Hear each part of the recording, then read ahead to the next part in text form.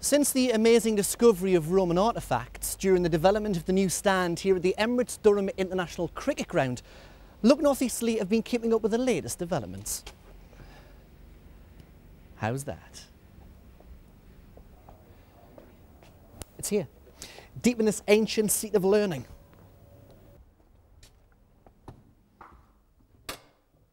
In the bowels of this highly appointed building and behind this very door.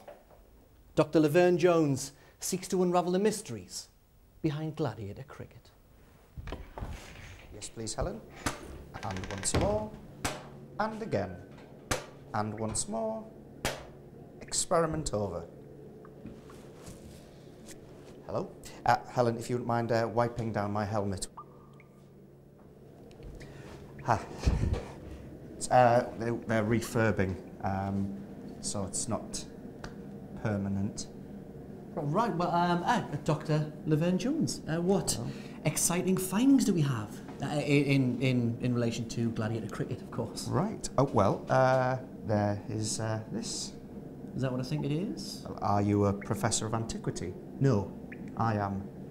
Uh, we at first we, we thought this was a drinking vessel. Um, an easy, an easy mistake to make.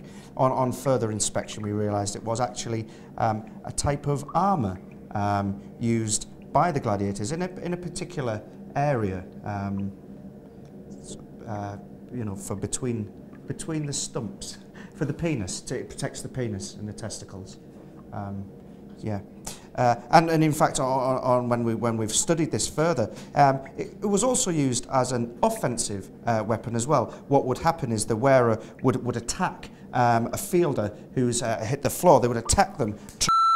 Um, and aha, aha, uh, yes, this. Uh, also, the uh, la piste de la résistance, uh, as the, the French say, um, is uh, is this.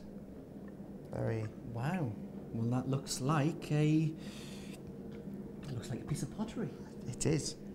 It's, but uh, it, obviously, uh, to the untrained eye, um, this is uh, this is part of an amphora, um, which would have been which would have been used as the stumps in the game, and and this actually would have been the ultimate prize. I thought the ultimate prize was freedom. No, no, it was this, and obviously uh, what we think is that this actually the amphora was used uh, as the stumps and if it survived then the, the prize was given to the gladiators and, and it's where we get the term overs from because this was the left overs. The overs have uh, have come from from here. Uh, and of course it, it had wine in it. Oh right. So you've you've obviously found traces of wine on the pottery. No not not yet no Uh, we will, we will, uh, once we, we get a, uh, the new laboratory and, and, and better equipment. Wow, well, that, uh, it's hard to believe. Well, as they say, um, history is, is made by the victors, and victors are some history uh, is made up. Right, uh, well, thank you.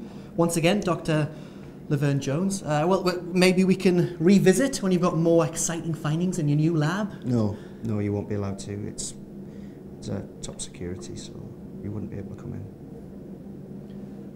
Right, well, this is, uh, this is Duncan Wilnott reporting for North Easterly News on the enigma that is gladiator cricket.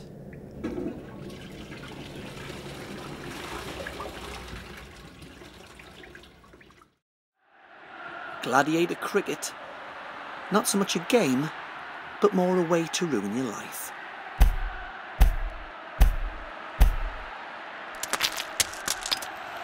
Duncan Wilnott, reporting for Look North Easterly.